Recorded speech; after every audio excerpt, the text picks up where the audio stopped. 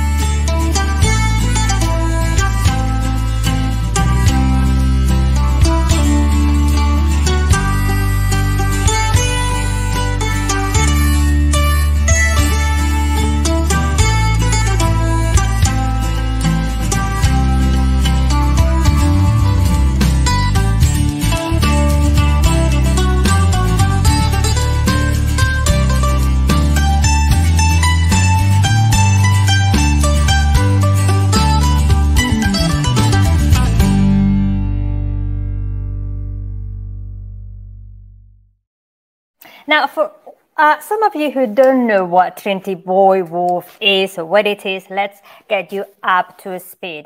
Uh, this is what Trinity Buoy Wharf looks like today. It is now a creative and culture and educational site. And this is where it is located. If you're not very familiar with the area, you can see it's just in that bend of the river between the Isle of Dogs, Canary Wharf, and the Royal Docks. And we can also see it uh, in this map, in this chains tool map from 1953.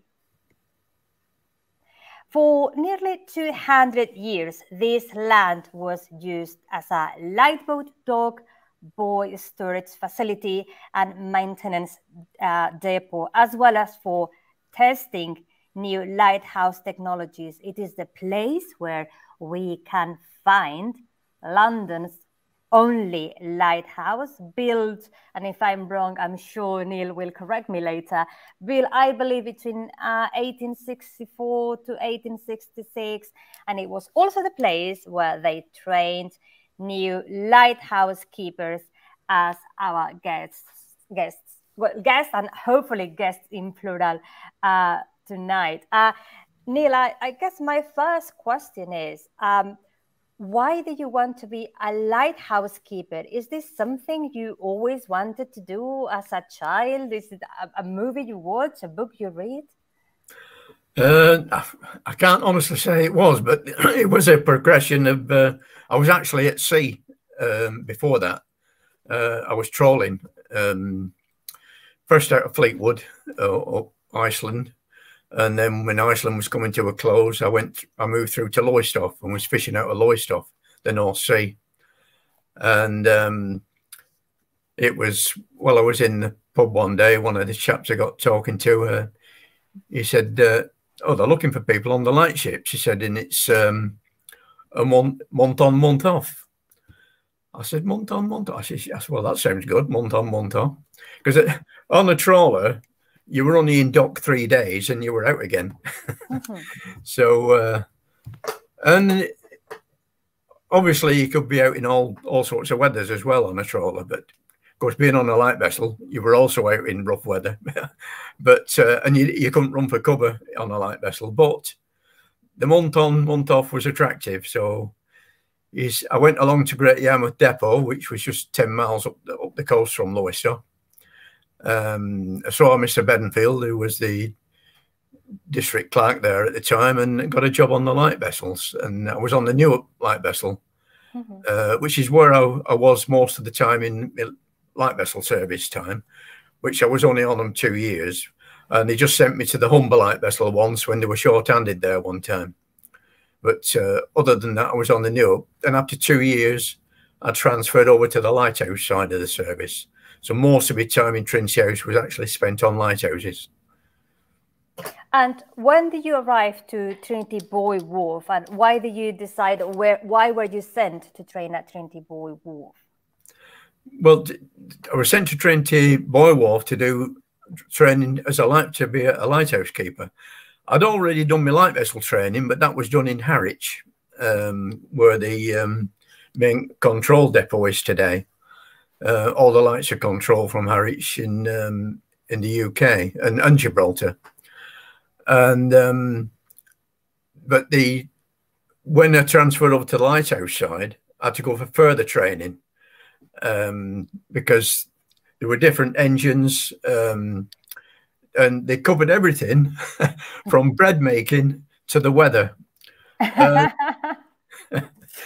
but of course, there were other things as well. There was um, outer light IOBs because they still had the odd IOB light in, in lighthouses. And I actually served on a, on a lighthouse where they still had an IOB before before it was electrified. An IOB was an incandescent oil burner, and um, these these were lit by a gas mantle, and they were quite delicate to set up. And you had to, during the course of the night, during the night when the light was lit, you had to prick the jets out every so often so they didn't clog up. so they were they were a lot more difficult to look after. But uh, it was it was certainly uh, when I did go on to a incandescent oil burner light, which is St Mary's Island um, off Whitley Bay, and um, it was certainly it was like living in the past, being uh, you know with that kind of light because you had to do your actual watch up in the service room as well, just below the light. Because at that time, those type of lights as well, the revolving light was wound up by, it was kept running by weights. Every time the weights got down, you had to wind it back up again. So that had to be done every half hour on some lights. Um, so you, to, you just have your watch up, um, up in the service room, just just below the lantern. But um, and then other things, of course, it was Morse code. You signal in, you had to learn the Aldis lamp, which you you, you could, if the, ten, the tender was coming to give you oil and water at the end of the Monday, sometimes flash you to ask you something on, on the Aldis lamp. So you had to reply. Um, ship to shore radio, you had to get your radio ticket. Well, I'd already had my radio ticket, but um, that was another thing they, they did at, at um, Blackwall as well, which was your ship to shore radio ticket. Um, this is it. Here, I've still got it. it's, uh, yes, we can see there. Yes.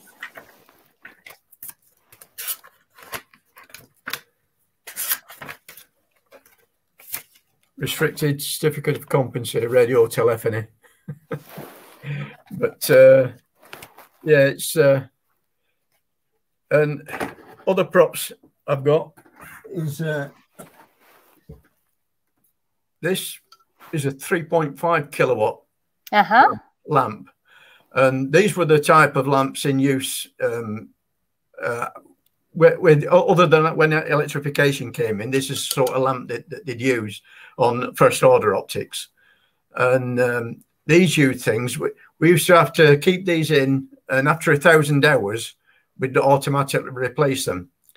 But once they stopped company making these, when they started, when automation came along and they started buying less, the company stopped producing them. So we'd have to keep them going until they actually fell over before we changed one to a to a spare that we had. But um, these now have been replaced by an LED about that big. but, um, yeah, the other things, of course, were they taught you how to change engine oil and filter because you had to do that at the end of each mm -hmm. month, um, ready for the crew coming aboard. Um, radio beacons you had to learn about. Uh, we had a radio beacon on the lighthouse. These were these sent out a specific signal, which a ship could pick up, and there'd be three in your area, so a ship in between would get triangulation, and they could pinpoint where they were. Mm -hmm. Um, phonetic alphabet you also learned, of course. Um, this again, um, uh, I, I, knew already from being on the on the trawlers. Uh, I knew my phonetic alphabet from there, but um, and also for, for, for those who are not very familiar, it's like when we say A for alpha.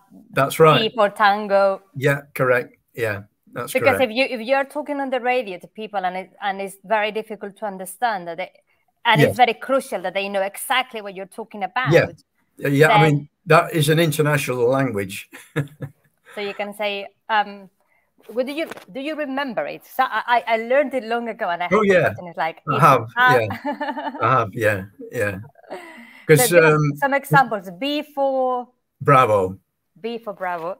Yeah. I always remember T for tango. I find it like very uplifting because it's like dancing.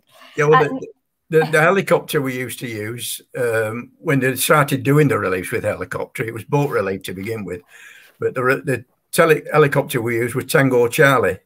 So it was the same helicopter we used all the time. So we always remembered Tango Charlie, and that's the one you looked out for when relief day came. Uh, Neil, uh, let's go. I, am going to retrace our, our steps a bit because I got some photos I want to show, and I want you to talk to me about those memories in hmm. connection mm. also with the photos we have. So, um, obviously, this photo I think is older from your time at Trinity yes. Buoy Wharf, but um, yes. and I, I, I, you have explained that there was a lot of training you did before going there, and a lot of other training you had to go after being at Trinity Buoy Wharf. But what do you remember of the place? Uh, what was going on at the Trinity Buoy Wharf at the, at the, time? I mean, you were there doing your lighthouse, uh, part of your lighthouse training. Uh, how do you remember the place and what else was happening there? It, it was a complete hive of activity because they had all the different trades tradesmen there working there, where the they as well as the uh, mechanics and electricians and radio mechanics, what were based there, what went onto out onto lighthouses and light vessels to do repairs. They also had their own workshops making their own lighthouse parts because some of them, as you can imagine, some of the lighthouse parts they weren't on the shelf, and they often Trinity House often made made their own parts up when they wanted something. They had coppersmiths there, tinsmiths, uh, you name it, the trade was there, you know. And so there was lots of workshops there. And there wasn't an American diner in the front of it like there is nowadays, of course. and there wasn't a cafe, but they, they did have their own in-house on-site um, uh, canteen, which we had our lunches on site in the our dinners on site in the canteen. Because as well as all the work trades, they had all the office staff there to go with it as well, obviously. Hmm. So it was quite a hive of activity, and all the painters painting the used to do the repairs to the buoys when they came when they were brought brought in there. They'd re they'd repaint the buoys, chip, chip them all off, all the rust off, and repaint them, ready to go out on station again somewhere else. And if if we if we look at this photo, overhauling buoy lantern flasher, what is this man doing? This is a photo taken at Trinity Buoy Wharf. Yeah, it's uh, the flashes are again. They, they have a on the top of every buoy is a, is a light which flashes a certain signal, and yachtsmen, uh, fish, fishermen, any ship, any ship going past, they know what the lights are, what the lights mean. Um, so, like for instance, in the rivers, going in and out the rivers, they have starboard and port, and and the yachts the yachts rely on these uh, when they're coming in and out of port in, in into the rivers, and likewise out on the out on the seas, you have buoys marking certain stations, and depending what flash it is, uh, they know exactly you know what that buoy's where that buoy is, what what it's marking. Some mark a sandbank, um, some mark rocks, reefs, uh, and also you have your wreck buoys, of course, which mark mark uh, a wreck site. And what about um, these these photos? What memories trigger these photos? Yeah, that that's the type of IOB, um, which you can see the, the gas mantle, uh, which is holding up in front of the keepers looking on there. That round white thing is is a gas mantle, but um, it's that's a, a, type one of the types of all old IOBs. But, uh, again, as I say, it was uh, incandescent oil burner. But um, and those lanterns on the other picture, um, they're, well, they're, they're, small, they're smaller lenses than, than the first order optics, but the they had third and fourth order optics, which were smaller, but also some of these type of lanterns could be put on on a on a buoy as well. But um, the uh, I say there's a, a chap there just just checking them as well. so there were everything had to be inspected and checked before it went out, of course, and double checked because they always had a, a, backup and not just one backup, but a second and third backup on the lighthouse if a if a light failed. And does does does this uh, photo uh, look familiar? Like, were there big vessels stopping by at Trinity Buoy Wharf at the time? Yes, the the tenders, the Trinity House tenders would could come alongside there and unload the the buoys um, and load it onto the wharf there uh, for them to be repaired and repainted. But um, the, uh, the, the tenders at that time, uh, well, in my time, there were the THV Mermaid, which which went out to Great Yarmouth Depot, and and they had the Winston Churchill and uh, the Patricia, and um, there were the Vestal, and um, they, still well still got one called the Vestal these days, but um, and they, they, still have the Patricia these uh, as well, but um, she's about to get replaced by a, a more modern modern vessel. And what about the, I mean the uh, I had never thought of how long are the chains of a ship of a boat? Is that is that well, what we're looking at that in this photo? Yeah, the, the chain links. Yeah, they because on light vessels, um, they didn't. A light vessel didn't have its own engines where you could get under steam to go anywhere. You were there permanently anchored to where you, what you were guarding, whether it be a sandbank or or a rocky reef. On most of them were on the east coast, which were they were mostly sandbanks, and um, it was only the rocky reefs was off the west coast but um, East Coast was sandbanks. But the uh, the inner dowsing where I was was um, initially um, a, a, light vessel before it got made into uh, a lighthouse got put there, and uh, that sat in um, when the lighthouse got put there. It was it sat on a, a, rig which sat on four legs, but we was in fifty feet of water there. But some going further out, they were in much deeper water, of course. Mm -hmm. So you just had you had to have enough cable uh, for a specific station, and you had to have enough cable standing by in your in your hold, um, getting cable in the chain locker. For in rough weather, you had to pay more cable out, wait for ride to ride the waves, so it didn't snatch at the at the anchor. And for those of us who don't really know a lot about the technical side of it, I know you already introduced us a bit earlier. But what's what's the basics of a lighthouse? How does it work? I mean, what's the main aim? It's like letting ships come in about um, the the, uh, the, dangers in that particular uh, port or beach or harbor where they are arriving. It's about um, letting them know about the weather conditions. It's about them having visibility. If you had to explain from zero, what is a lighthouse? What, what does a lighthouse role yeah, sure. They, they were put there initially from the very first one to save lives at sea. And that's exactly what they've done all over the years to save the mariner. And the good thing about it is with lighthouses, um, it's not just to save your own mariners around your own coast. It's to save the mariner from any country, no matter where he's from.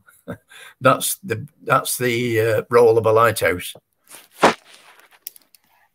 And and for example, what are we looking at in this photo? Uh, the fog, the, the fog bank, because where the lighthouse is, uh, with fog in between, you wouldn't see that vessel. Um, like, for instance, when I was on a light vessel, um, when we were sounding for fog, we had to do our watch out on deck because you couldn't mm -hmm. see anything. You couldn't see if any ship was near you. Mm -hmm. But when we sounded the fog signal, it would hit the side of a vessel if there was one there and rebound back. And you'd know how quickly that sound rebounded back to you, how far that ship was away. Um, this is something you picked up, you know, you, you, that you learned. And if it got too close, you'd have to call everybody out on deck, ready to abandon ship if it if it, that what, what was needed. Um, it did happen on the odd occasion when I was on the on the Newarp light vessel, but luckily we never had to abandon ship but after i left it that same light vessel did get actually get hit twice and I, I can see that Barry is trying to connect, but unfortunately, we keep getting a message that his devices are not connected. Barry, if you can hear me, uh, there's nothing I can do from my side. It's for some reason it looks like the system thinks that your camera and your microphone are not connected. I don't know if there's anything you can change to go back to the settings that we had yesterday when the, when we did uh, the test because I, I was chatting yesterday with Barry on this very same studio and it went really really well. I mean like I'm heartbroken that we keep having this problem now. Uh, also because for example Barry had sent us this photo. It's not a photo actually. It's a painting that he did. Uh, this is uh, this oh, is brilliant. I think uh, um, I think the ra the radio studio. I think the radio room. I, I, think was it was the name of of this uh, painting that he did. So again, this is.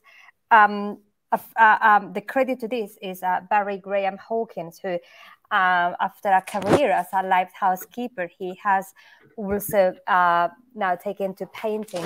Uh, Anil, what do you, what can you tell us about this room? What is happening in this room? Well, it is uh, it's got a picture there. The the single sideband radio. That's a ship to shore radio. What we used to use to communicate with other ships, and um, they had quite a long range. That's the bigger of the two radios um, single sideband. They had quite a very long range. The the smaller one on the left was um, uh, the one for the helicopter, um, and we we used to use that to communicate.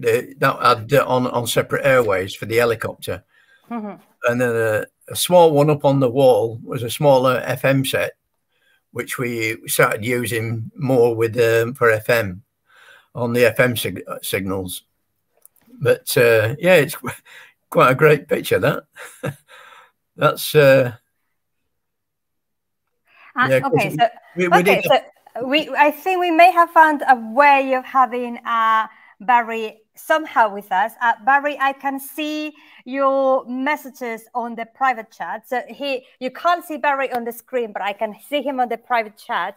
And Barry saying, "This is the radio lounge on Lundy South Lighthouse." So uh, Barry, thank you very much. And if you can't if you can't connect with the audio and video, uh, at, at, least I can see we, we have some sort of communication uh, with you. And I think I'm going to have my assistant, aka my husband, calling you to ask you if you would like to try with your phone. It might not be as good as when we did it yesterday with the computer, but even if it's not perfect quality, but we could get you on your phone clicking on the, if you go to your on your phone, open any internet browser on your phone and click on the link that I send you. Perhaps that would work. If not, let's keep uh, on the uh, on the chat option. And we also have uh, this again. It's a painting uh, from Barry, uh, Europa Point, uh, Gibraltar. And some of these photos I have selected for when I was going to ask both Neil and Harry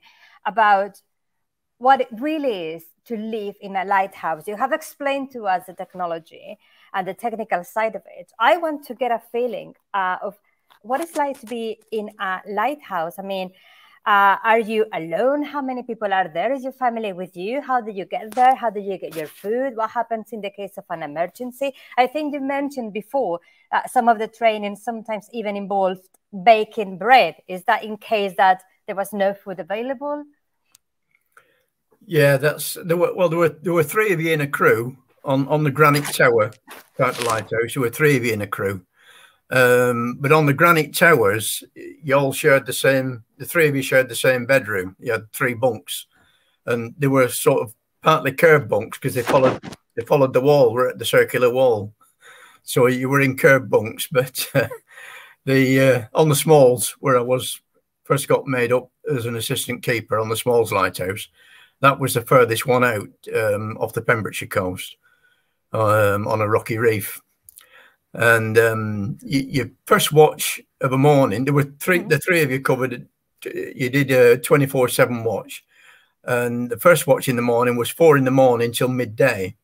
And that's when most of the work, your work for the day was carried out, um, whether it was um, something in engine room or um, cleaning the lens or you, you do it you'd use the morning to do your, your chores, as it were. And um, the next watch was mid midday till eight, but some split it. Some did midday till four, then four till eight, then eight till midnight, and then midnight till four in the morning was your middle watch. And of course, when you middle watch, you were you were on your own during that time uh, for the middle watch because on a granite tower, that's when you did your your, your wash at the kitchen sink. You know, shower, you no shower. You, it was a strip wash at the sink, stood in a bowl, and uh, the ablutions on a on a granite tower was what we call the bucket and chuck it method, hmm. making sure which way the wind was blowing first, so you didn't get your own back. But um, but it was, I mean, it might, it, yeah, I suppose it does seem primitive, but it, it was it worked. You know, um, there was great camaraderie. So you know, when you were with a good crew, it, it, the the month passed very quickly, and um, it it worked. It was best job I ever had, to to be honest. But um, yeah, we learn you learn how to bake bread just in case you. There was, although having said that, on when I joined, there was there was actually a really although the we you went out once a month there was actually a relief every two weeks because you weren't out with the same ones for the whole watch. There, would be a, a, relief halfway through, uh, even on with three on a on a on a mm -hmm. lighthouse. So you would be two weeks at the lighthouse. Yeah, yeah. Well, and then no, taken I'll, back to coast. No, I'll, I'll, be out for a whole month. Uh -huh. But, but um, I go out. Um, so, so I so I went out with the principal keeper on my uh -huh. relief, and then two weeks into our relief, one of the keepers that was on there when we went out there uh, he, he'd go ashore for his uh-huh. month off. Another one had come out for the to do another two weeks with us, um, and then he'd stay out for another two weeks. Uh-huh. Um, so there was a relief every two weeks. So you, could ask. I mean, you took your month's supply of food out with you, uh-huh. um, but if you wanted, you could have. You know, if you were running out, you could have bits come in two weeks. You could have order something uh, for something to come in two weeks' time. Mm-hmm. So there wasn't, honestly, during my time, there wasn't that much bread making going on on the on the lighthouse. Um, but although I did, you, you, did when I was on the light vessels, I was shown how to like being on the east coast mm-hmm. with the Suffolk and Norfolk people. I was shown how to make Norfolk dumplings. Oh. And these went down very well because they were, although they were a simple thing like flour, salt, and water you steamed them. So this this they've spread they've fluffed up really big. And you had these with your meat and, and veg and lashings of onion gravy. So they went down a treat. And um, have you ever been in a situation where the storm was so big and the waves were so big that that you you you you, you felt you were in danger? Uh, yeah yeah, I've, I've been on I've been on the smalls and I've been on the, on the Longships off Land's End when a wave has come right over the top, and uh, the in the, when you kitchen window where you'd be sat, um, usually bit of the kitchen window, you get your beer for a minute to be a complete blackout because the water had come right over the top, and uh, you also when a wave like that hit the tower, you'd feel it just a slight movement but it's designed like that. It, that's okay. how it's designed to have that little give, because if okay. not, it would snap. okay, so but, it's like uh, it's like the um the the some of the big buildings, uh, some of the tall buildings in uh, Japan, I think they have built to have some sort of oscillation in case of a of an earthquake. earthquake for earthquakes. Yeah, ah. yeah, yeah. Because yeah. I I googled, I went and did um a, a image search on Google. Uh, joining the words wave and lighthouse keep and lighthouse. And uh, some of the photos are really terrifying. Uh, so it's not only that i mean if you if you do have some windows how is the glass of those windows protected so the water does not smash the windows? Well we we had outer shutters. When the when a storm was coming we had outer shutters what we could uh, these were made out of gunmetal because the windows was on the inner part of the lighthouse, and the gunmetal shutters were on the outer part, and they were they were two feet apart because the walls were two feet thick, the granite blocks. But uh, so you'd, you'd, you'd shut your outer your outer shut metal shutters. Same with, with the with the door, um, the lighthouse door, which was at the top of the dog steps. Um, the uh, you had gunmetal, heavy gunmetal doors which you close up uh, as well. Um, when when a storm was was on the way. and and uh, hello? What, hello, Barry. Can you hear us? There ah, he is. He's there. He's there. I can see him. I think. This is the man we have been hello? waiting for since we started. Hello, Barry. can you? Can you? Okay. Can, can you hear me? Yes, we can. Can you hear me? Yes. Brilliant. I've got an echo. I, I know you do, but I, I rather have you with an echo than don't have you at all.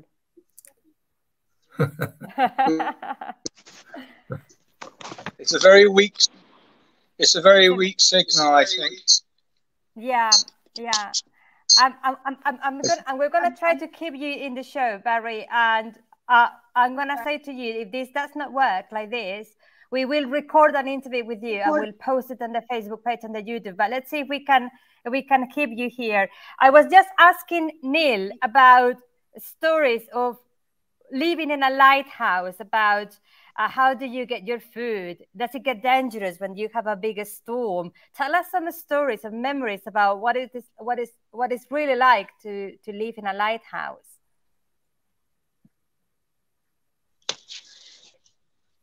Yeah, um, the food we had to uh, take that out with us. We had to go and buy it before, and then it was taken out either on the boat or um, or mainly as the relief spy helicopter. And um, you just had to make sure that you got all you needed for the uh, the two weeks. There was a relief every two weeks on the lighthouses, so that wasn't too bad a problem, really. Some people used to get just sausages and tins of beans. I have to say, Barry, even if your, your, your video is freezing, your audio is really good. So I think I think even even if your video does freeze, I can hear you perfectly, and that's really really really good. Um, I, I'm just going to go back with you to, with some questions that I had asked Neil. Uh, I was very curious to hear. Uh, Neil told me his story. In your case, what made you want to be a lighthouse keeper?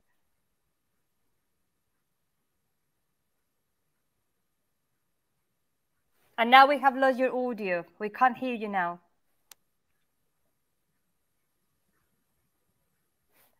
Barry, we suddenly can't hear you, I'm afraid.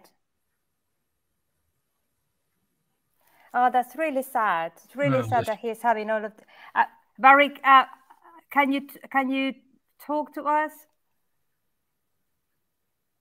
No, we we've lost your audio again. I'm I'm afraid we have lost your audio again.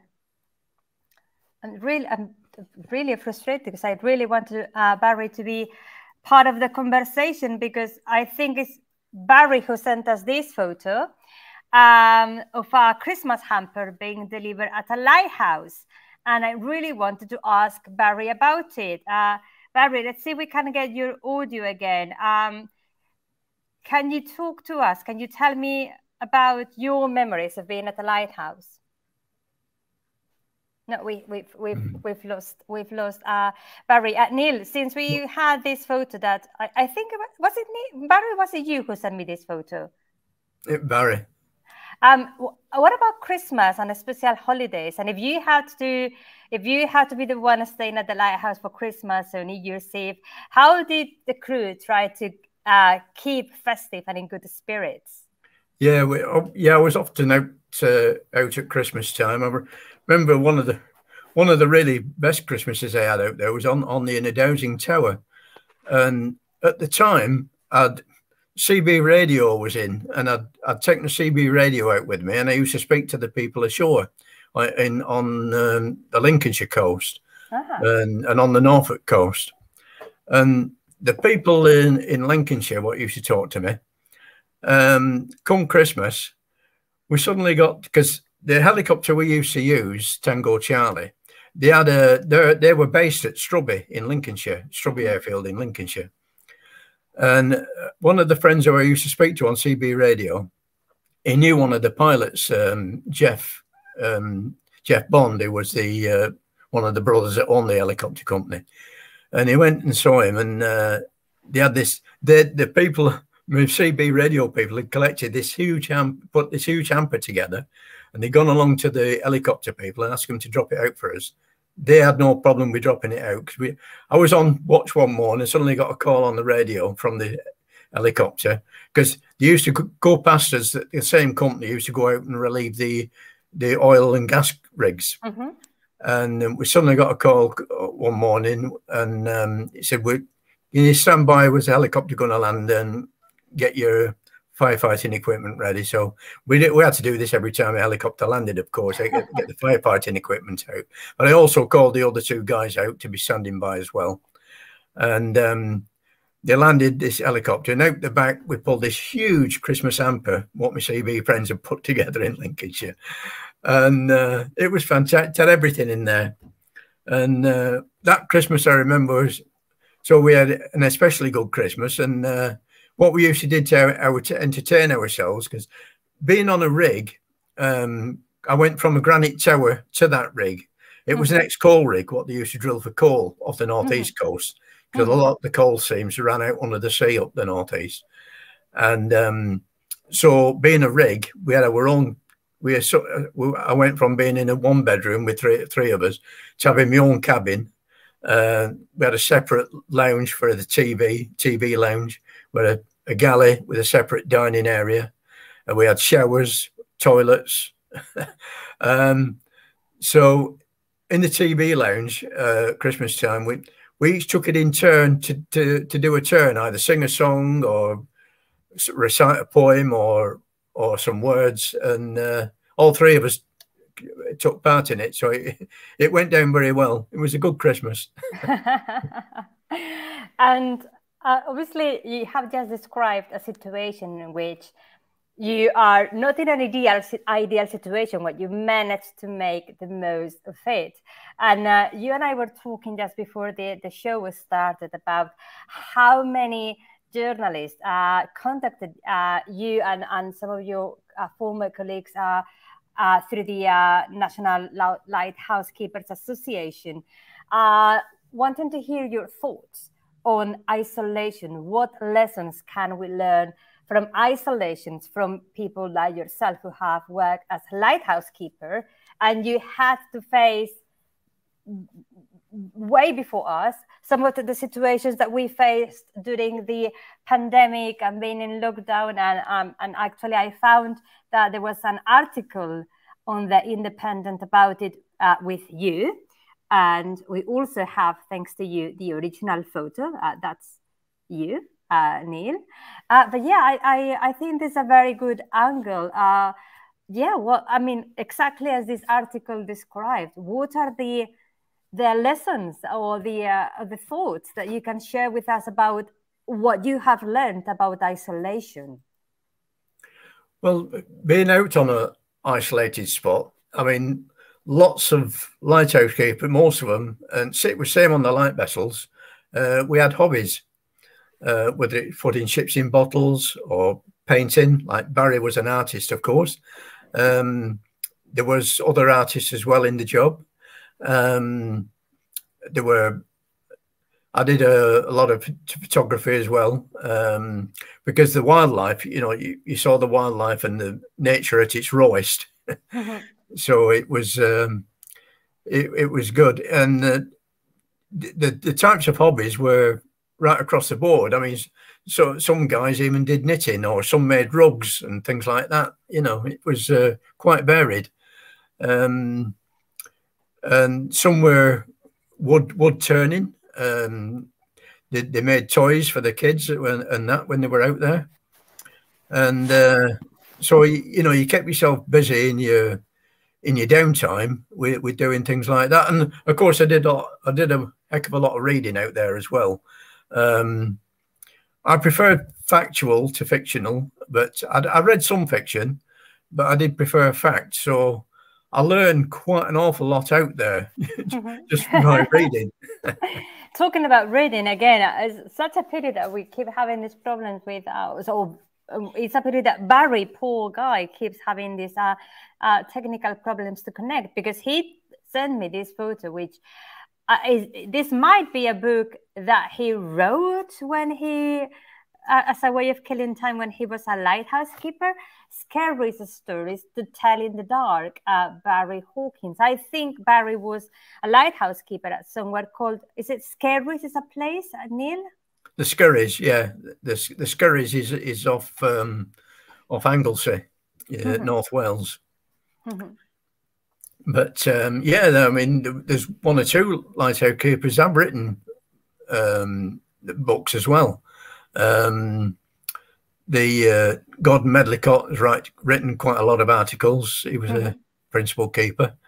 Uh, and other keepers have written books. Even um, one of the daughters of a lighthouse keeper has written a book on her life of being on a lighthouse because she was born and brought up in one. She got married from one. She got at St Mary's Island, what's connected by a causeway. She has a wedding photograph taken on the causeway. because let's let, us let us try to understand what was life for the families of a lighthouse keeper. So you you are doing a stint of a month, right? In, a, mm, in the lighthouse for a month, month out, month month on, month off. Yeah. And is your family living uh on like on the main line, but very close to where your lighthouse is. They are living on the coast in front of you, more or less. So how, how and... uh, some some might have done, but they um, with with my family, my uh, my wife lived ashore uh, in in our house ashore, but um, when I was sent on the Smalls, uh, I was living in East Anglia at the time, mm-hmm. but the Smalls is off the west coast of Wales. So that's from extreme east to extreme west. So I was well away from from from my home. But um, on some uh, land stations, that's where keepers lived there with their families on a mm-hmm. land station. Mm-hmm. Before eventually, with automation, they made them into rock stations. So the families were then moved out eventually, and they became rock stations. And they put four keepers there instead of the three what was there before. But um, during the automation side of it, and also during the automation side of it, the, the last uh, four years, I was put on what was known as a pool of keepers. We got sent relieving people were off sick or on holiday. So in them last years, I got sent England, Wales, and the Channel Islands, uh, a month here, a month there. So I got to see a lot more lighthouses than what I would have done normally. That was great because you know you, you, got, like I say, I got to see a lot more places. Not only that, but wherever you got sent as a lighthouse keeper, you were immediately welcomed into the local community Mm-hmm. they saw you as one of them because you were there to protect their fishermen, their yachtsmen. And that was, it was great life. You know, you were welcomed into the community straight away. And on, when I got sent to Alderney on the Channel Islands, the lighthouse, we was also the 999 call centre for the island. Oh, we, wow. were, we were the only place manned 24 7. It was the same on Sark. There was the 999 call centre to the island. So we'd turn out the fireplace or ambulance. Uh, Neil, uh, talking about emergencies, what has been the scariest or most dangerous situation that you have been involved, either scary and dangerous for yourself because of, I don't know, perhaps the, the lighthouse was being, the safety of the lighthouse was being compromised, or scary because it was something could have happened to a boat you was you were trying to help? Well, I suppose the scariest I was, I suppose for me, when I was on a light vessel, when uh, a ship came that close, it scraped along down our starboard side. Um, the the little coasters, what you supply, they got they're not supposed to come across a light ship's head, but invariably they did. And there was four and a half knot tide running there because it's quite a strong tide. So they struggled when they once you started crossing your head, they were coming ever and ever to, nearer to you. Mm -hmm.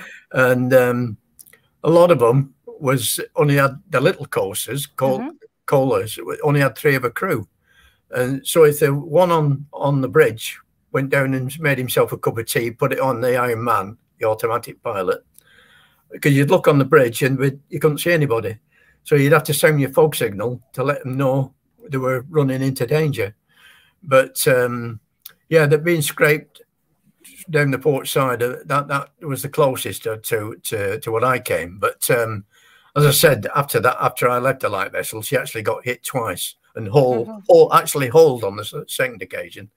Wow. But another incident I had when I was on the Inner Dowsing, I had um, the helicopter people who I said did our reliefs. They had a helicopter coming in from one of the rigs um, mm -hmm. to, to go to land at Strubby in Lincolnshire. And he said, We've got um, a problem with our chopper coming in from one of the gas rigs. He said, Can he land on your deck because he's losing oil? I said, Yeah, sure. So I called the guys out and we got started by with the extinguishers. And this helicopter came in and what was left of his oil finished up on our deck. And I, you, we were taught how to guide helicopters mm -hmm. coming in, of course. So I guided him to nearest as far to one end of the pad as I, as I dare. Mm-hmm. We had to get a second helicopter to come in and land, uh, which was possible with it being the inner dowsing tower, with being in the next rig. We could get another small chopper in down alongside. So uh, they, they sent another chopper from Strubby uh, with the mechanic on board and fixed him up, and then they were both able to fly off. Uh, and Neil, um, what about the situation today? Are lighthouses still being kept by by by people? Are they all uh, automatic, all digital, and we don't have lighthouse keepers anymore? No, all, all ours are fully automatic. There are still some around the world in some countries, but most countries have automated now. Um, the uh, in, in India, there's still some. Mm-hmm. Uh, there were still some in, in, Canada, but they were wanting to to automate as well, but I think they were resisting. but um, America fully automated long time. Sweden mm. was the first to automate. Okay. But um, the uh, it's because it's the shipping companies that pay for the service. You see, mm. none of the uh, payment for lighthouses and light vessels or buoys comes mm. from the taxpayer. It gets mm. paid for by the shipping companies. Okay.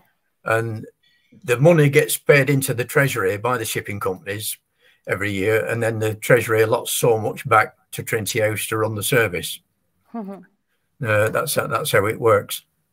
But um, yeah, it's a shame going back to what we were saying before because Barry, uh, we actually did a made a DVD of interviewing keepers before. While some okay. of us are still, while some of us are still here, um, the LK had in a DVD made of interviewing keepers, and Barry Hawkins' interview was very good and very poignant because he was on watch the night when the Penlee lifeboat got lost with all hands, and he heard it over the radio what was happening, you know, and it was very sad and it was very point. It was very sad listening to Barry tell re relate that story, you know.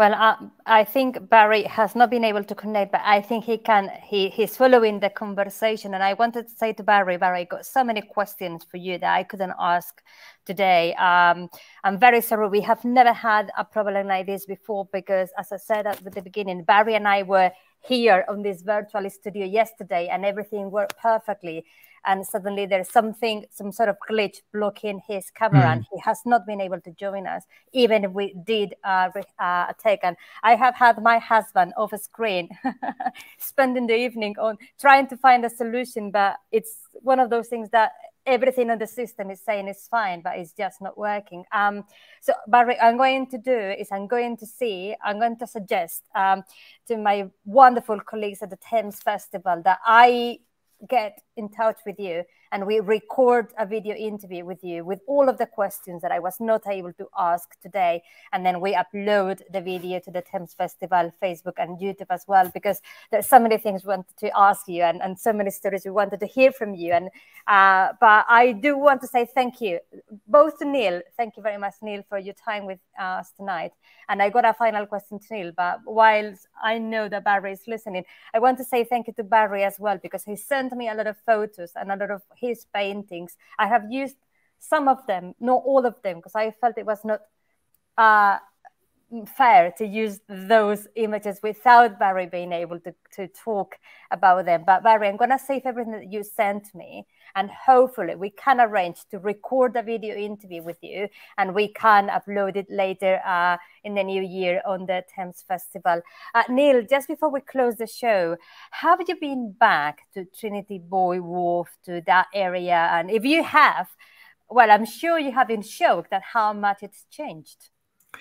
Yes, I, I have. I've been back more than once because we actually run ALK tours there every now and again. Because um, we do a tour, we have a tour of the buoy yard and then a tour of Trinity House uh, as well the same day. But um, yeah, it's it's changed dramatically. Uh, now it's surrounded by blocks of new flats.